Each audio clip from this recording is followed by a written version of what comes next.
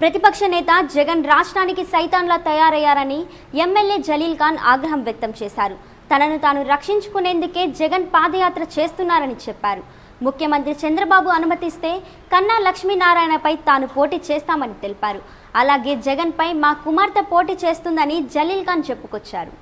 ఎక్కడ వెళ్ళినా ఇసుక మాఫియా ఇసుకాలు జరుగుతున్నాయి ఎక్కడ జరుగుతున్నాయి నీకు అలవాటు పడి ఉన్నావు కాబట్టి పొద్దాగా డబ్బులు కరప్షన్ చేసి ఉన్నావు లక్ష కోట్లు పైన సంపాదించావు బ్రహ్మాండమైన బంగ్లాలు కట్టుకున్నావు.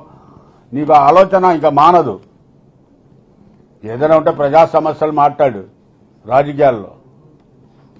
కన్నా కనుక రేపు గుంటూరు ఏ నియోజకవర్గంలో గెలిచాడో ఐదు సార్లు ఆరు సార్లు రేపు గెలిచి చూపిమను.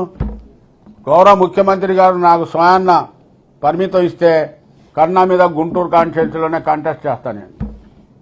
జగన్ మీద ఉన్నారు ఇవాళ కన్నా మీద అంటున్నారు జగన్ మీద మా అమ్మాయిని నుంచో పెడతా